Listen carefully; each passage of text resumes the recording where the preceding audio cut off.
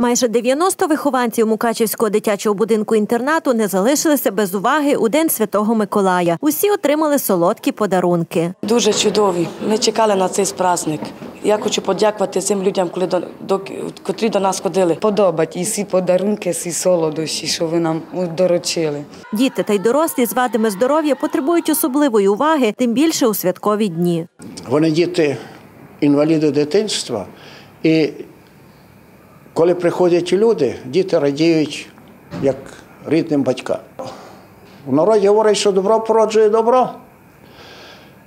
Народна мудрість також наголошує, допоможеш бідному, Бог допоможе тобі. Святий Миколай приносить слабим, нечесним допомогу, виховує, а дітям приносить подарунки. В цьому році, як ніколи, у нас завітало багато добродіїв.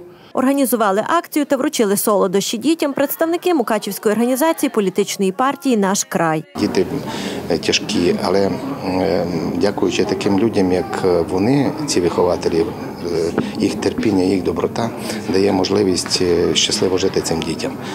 Ми теж приклали до цього якийсь маленький вклад, відмітили цих дітей в межах своїх можливостей. Вихованці будинку інтернату подякували за подарунки і заспівали гостям колядку. Місті віплеє місталася новина.